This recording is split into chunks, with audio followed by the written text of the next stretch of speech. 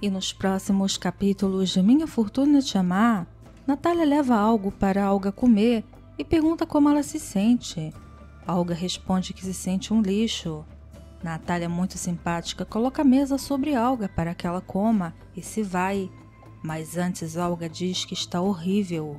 Natália se vira e diz que se ela não quer, está bem, e afirma que todos gostaram. Quando Natália está prestes a sair do quarto, Olga faz maldade com Natália. Ela pega a mesa e joga no chão e finge que tenta pegar, mas que sente dores. Natália então pede que ela fique tranquila. Natália limpa a bagunça que Olga fez de propósito. Mais tarde, Simba entra na casa de Vicente sem que ninguém o veja e vai até o quarto de Olga. Olga quer saber o que ele faz ali e Simba responde que veio ver como ela está e também felicitá-la pois seu plano deu certo. Olga quer saber o que Simba quer, e Simba diz que quer o dinheiro. Ele tenta agarrar a Olga e afirma que quer mais. Simba ameaça a Olga, perguntando se ela quer que ele conte para Vicente o segredo deles. Olga fica furiosa.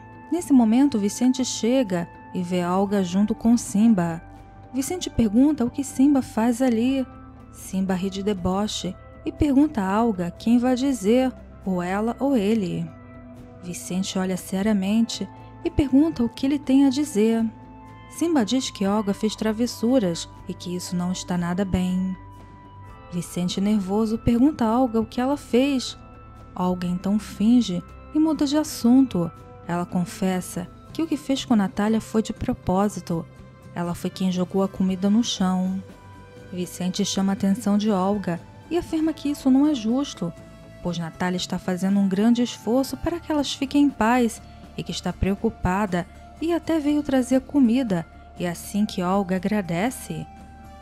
Simba concorda com Vicente e Vicente diz a Olga que eles a receberam em sua casa e exige que Olga respeite Natália, que é sua mulher. Vicente dá a vassoura para que Olga limpe o que ela fez.